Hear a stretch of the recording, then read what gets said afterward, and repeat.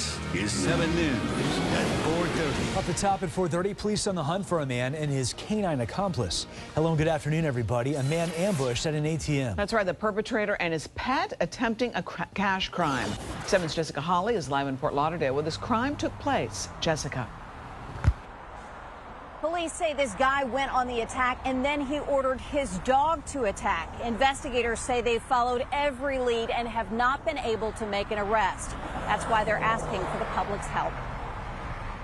Attacked at the ATM and the attacker using his dog to do some of the dirty work. Police now asking for your help. If we are able to identify this suspect, he will be charged with attempted robbery with a deadly weapon. The dog is classified as that deadly weapon.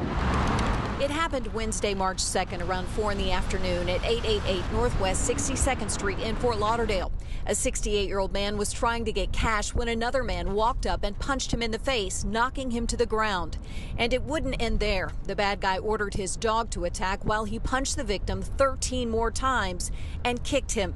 The elderly man was left with a fractured eye socket.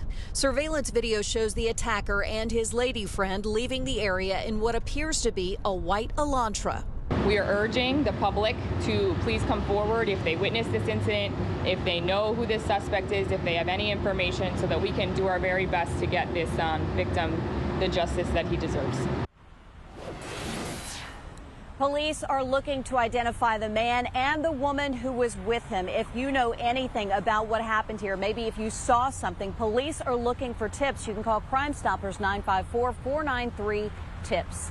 We're live in Fort Lauderdale. Jessica Holly, 7 News.